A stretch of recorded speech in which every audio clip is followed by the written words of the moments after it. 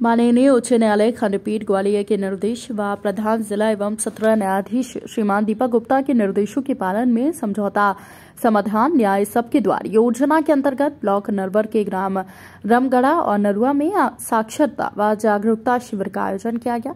ADJ DL Sonia व श्रीकृष्ण बुखारिया के प्रयास से ग्राम पंचायत नरुआ में दो परिवारों के मध्य वर्षों से चल रहे रास्ते के विवाद का निराकरण कराया ग्राम निवासी कमल सिंह व तर सिंह चाचा भतीजे होकर वर्षों से उनके मध्य ज़मीन बंटवारे व रास्ते को लेकर विवाद था। इस पर दोनों पक्षों को समझाते हुए कहा कि अधिकार पत्रों में ये लिखा है कि सबको आने जाने का अधिकार है। दोनों पक्ष अपनी ज़मीन पर दोबारा सीमांकन करवाएँ। अतर सिंह से कहा कि अपने चाचा को उसकी खेत में से निकलने के लिए रास्ता दो और उसकी खेत में वर्षों से फ़सल नहीं हुई।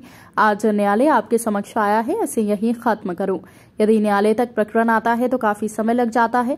इसके बाद समझौता समाधान योजना, न्याय सबके द्वार योजना के अंतर्गत 12 नवंबर 2022 को आयोजित होने वाले नेशनल में आपके राजीनामा योग्य प्रकरण का निराकरण, ना काहू की जीत, ना काहू की हार के माध्यम से हो जाता है।